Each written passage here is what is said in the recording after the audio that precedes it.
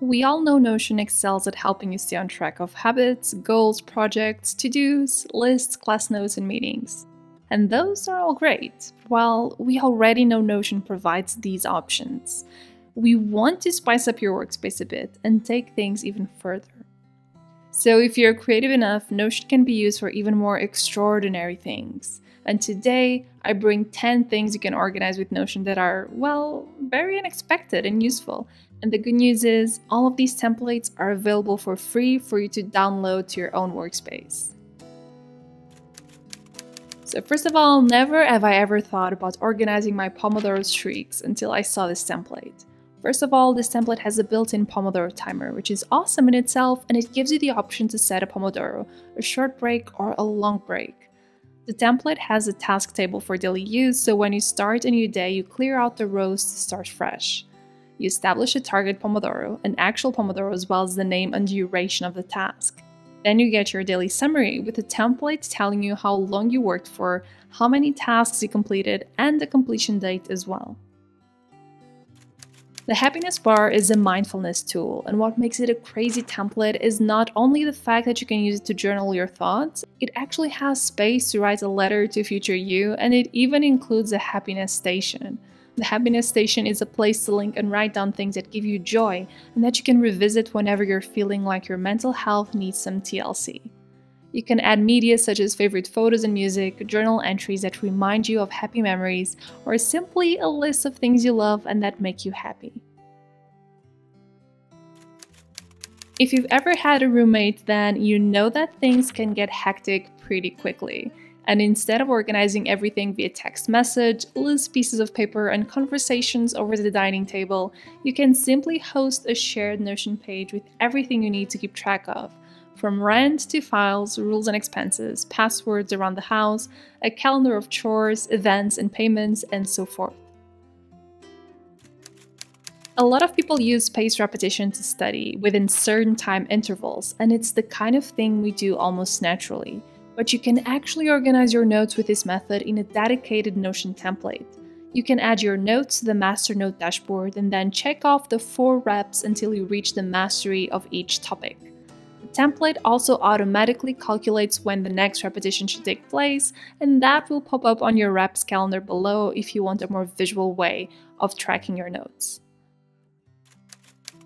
Another thing you can manage with Notion are all of your plant babies. Using a gallery format, you can keep track of the look of your plants over time.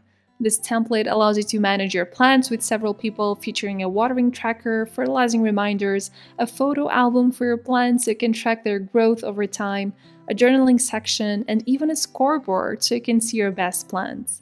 This version of the Houseplant Manager is paid, but if you want a simpler version, its creator also provides a free template that you can easily duplicate. Notion itself actually created a template so you and your family can prepare in case of a disaster. This template assembles checklists and instructions recommended by the American Red Cross. Besides family member contact info and pet info as well, you can add your plan of action with escape routes and walking directions, a table for responsibilities, a list with emergency supplies, as well as embedded resources in case of emergency. And if you're into organizing everything in one place only, you can actually organize all of your flashcards inside Notion without having to resort to other types of software or physical flashcards. Just like the spaced repetition template, this is also based on active recall. The database uses the SM2 method, which is proven to generate optimal intervals, which results in higher retention rates. Once you're done with the session, you can update the calculations to schedule the flashcard that will appear on the next session. The template has all the necessary instructions to help you program this quickly, and it's definitely a must for people who have jobs or who are studying topics that rely heavily on memorization. If you're apartment or house hunting, it's normal to feel like the process is getting overwhelming and that you're mistaking the features of different apartments, prices, and even size.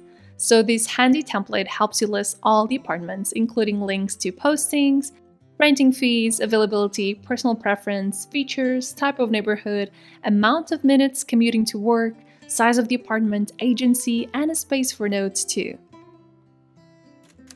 Have you ever thought about organizing literally your own decisions?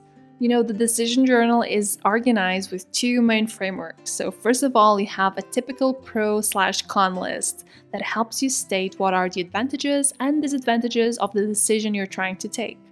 If that isn't helpful enough, it includes a further decision journal, which goes a little bit more in depth regarding your decision making. It asks questions such as what is a problem statement? What is the background situation and context? How do you feel mentally and physically when thinking about each scenario, the range of outcomes, and so forth.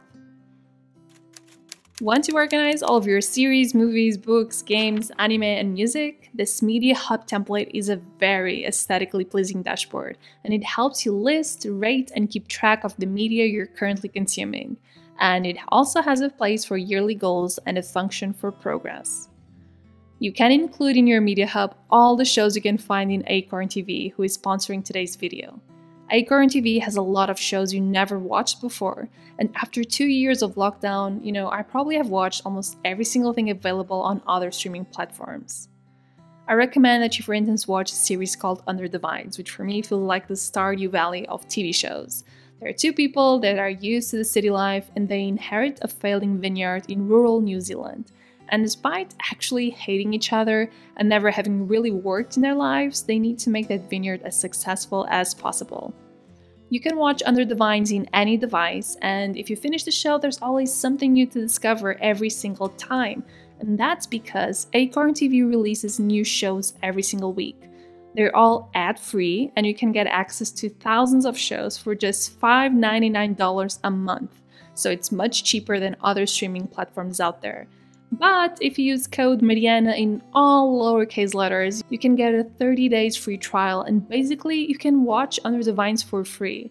And if you like, you can just renew your subscription and watch all of the other shows, as simple as that. So don't forget to click the link down below and use code Mariana to get your free trial and also check the description box to get your free Notion templates. I really hope you've enjoyed today's video and I'll see you next week. Bye guys!